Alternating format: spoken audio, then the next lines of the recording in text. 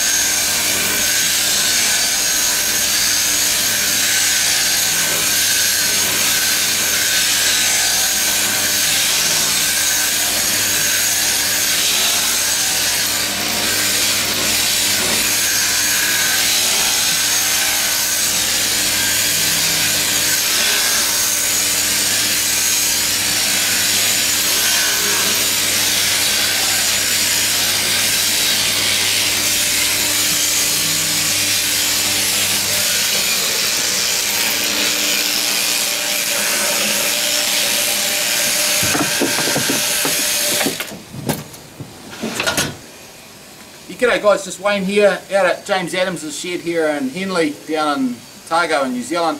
Just trialling what we call them the Shear Master. It's a new version of the Crutch Master. As you know the sheep run up and we put them in a crutch and cradle and crutch them and, and it's gone really well. We're just looking at putting a shearing option onto that. So what we've done, we've taken the infeed race and put it up the other side now in the decoy pen. So we've swapped the infeed race, infeed race and the decoy pen around. So now the sheep come up this way so that when I rock them out onto the ground here and I slide them down the slide, uh, I've got a tradition. I've basically got a traditional shearing shed. So just show someone this here, and look, I've shorn you know half a million sheep in my life. Uh, biggest problem I had was using an old dagging comb because I forgot to bring some gear, so it was it was chaffing a bit.